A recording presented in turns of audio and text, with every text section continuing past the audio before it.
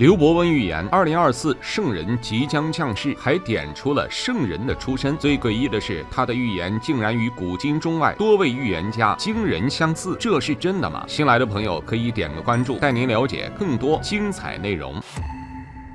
刘伯温是历史上的一位奇人，还有人认为他的成就甚至在诸葛亮之上。毕竟诸葛亮只是帮助刘备建立割据政权，而刘伯温却帮助朱元璋实现了大一统。同时，还有人认为刘伯温在军事上的能力超过萧何，在治国方面也不弱于张良。正是在刘伯温的辅佐下，大明才开创两百多年的盛世基业。成就如此之高，离不开两个因素：运气和才华。而刘伯温恰巧都具备。他的出生地浙江。江青田九都南田山就是有名的福地，《洞天福地记》中就说，古称七十二福地，南田居其一。至于才华，更是不需要多说。根据史书记载，刘伯温此人从小就喜欢读书，经史子集无一不通。同时，他还喜欢读奇书、易经、八卦、五行遁甲、天象占卜等等，他都达到了极高水平，被世人称为神童。刘伯温在十二岁的年纪就成了秀才，这相当于现在的本科学历。要知道，在古代，秀才的平均年令在十八岁以上，到了二十三岁时，他又一举拿下进士头衔，在元朝做了官。彼时，刘伯温还是一个热血青年，想要改变这个乱世。但此时的元朝腐朽不堪，他不想同流合污，只能处处受排挤。在元朝官场沉浮十年后，他清楚认识到，想要改变这个国家，跟着元朝这帮人干下去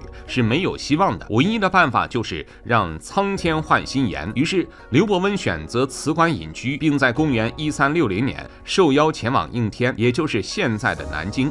而邀请他的正是那位天命之人朱元璋。很快，刘伯温就成了朱元璋身边最得力的谋臣，备受重用。他也不负所托，先是建议朱元璋集中兵力灭了陈友谅和张士诚，而后又劝朱元璋自立大明帝国。从这一成就来说，他的确比诸葛亮要厉害。当然，关公战秦琼是不可取的，毕竟诸葛亮的对手也远非张士诚、陈友谅之辈。不过，刘伯温最出名的地方不只是治国理政，还有预言，也是这一点让。朱元璋对他刮目相看。刘伯温预言几乎全中，推演明朝之后的千年未来，还曾当着朱元璋的面说中了明朝灭亡的结局。当时被朱元璋治罪了吗？刘伯温还说了什么？在公元一三六八年，朱元璋正式建立大明朝，但当时的朱元璋对于自己的政权并没有很强的信心。由于后世子孙的败家，元朝国祚还不到一百年就分崩离析，所以朱元璋才不遗余力准备将大明用规矩包裹起来。来，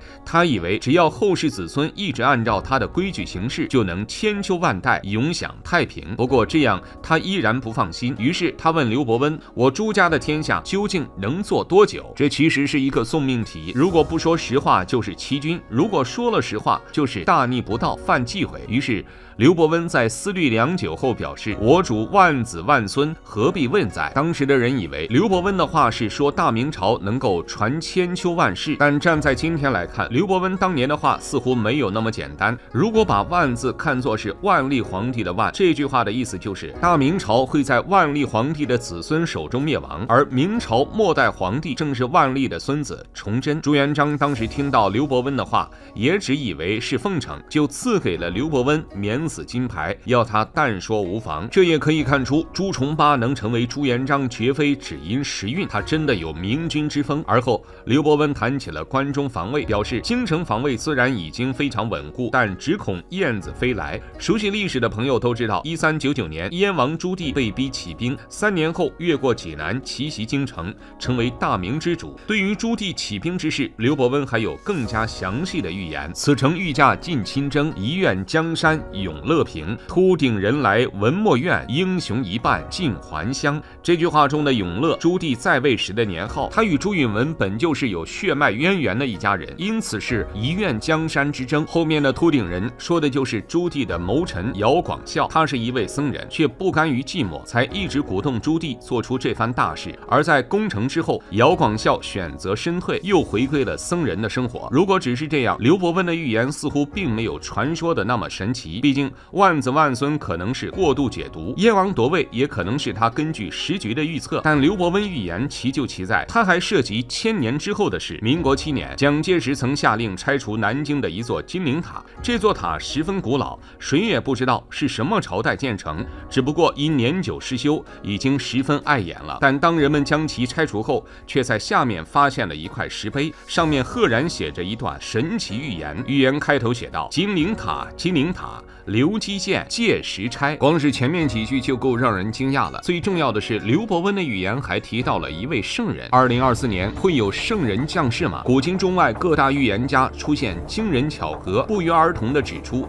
圣人将在东方出现。刘伯温甚至说出了圣人的出身，这可信吗？说起刘伯温的预言，就不得不提大名鼎鼎的烧饼哥。一三六八年的一天，朱元璋忆苦思甜，正在啃大饼，此时刘伯温跑来觐见，于是老朱就将大饼盖了起来，让刘伯温猜一猜里面是什么东西。结果刘伯温准确说出碗中之物是被金龙咬了一口的烧饼。朱元璋大感惊奇，并连续对刘伯温提出问题，而刘伯温则以歌谣的形式对答，这就是大名鼎鼎的烧饼歌。不过，在《永乐大典》中记载的烧饼歌，并没有关于圣人的记载。我们提到的刘伯温预言圣人的这一段，被称为万法归宗。据说当时被删了，只在佛寺中秘密传播，最后从从吉林省的农安县寺院传出来的。当时朱元璋问刘伯温：“末后道何人传？”意思是说末法时代后谁来传播大道？刘伯温以一首诗作答：“不相僧来不相道，头戴四两羊绒帽。真佛不在寺院内，他掌弥勒源头教。”这个说法就很佛教了。末法时代就是佛教术语，而佛教传说中最后救世人出末法时代便是弥勒佛。而且刘伯温很明确地指出，此人出身并不高，是降在寒门草堂内，而且他最初的活动范围是燕南赵北之地，也就是黄河以北地区、山东、河北一带。其实不只是刘伯温提到圣人出世，古今中外很多预言家都提到这一时期将有圣人在东方降临。比如李淳风和袁天罡的《推背图》第四十四项中就表示，中国将出现一位圣人，虽然不是豪杰，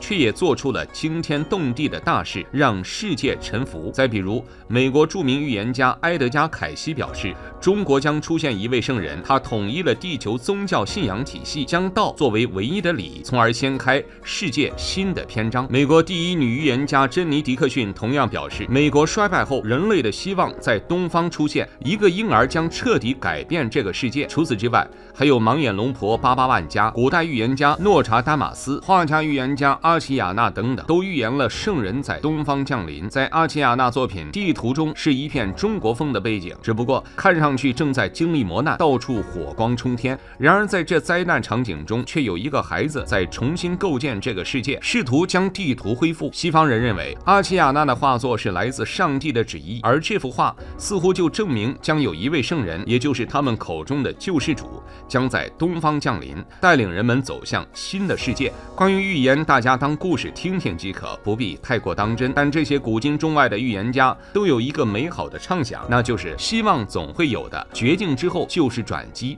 始终怀抱着希望向前走，转机也许就会出现了。看到这里，你有什么想说的呢？欢迎留言讨论。我们下期再见。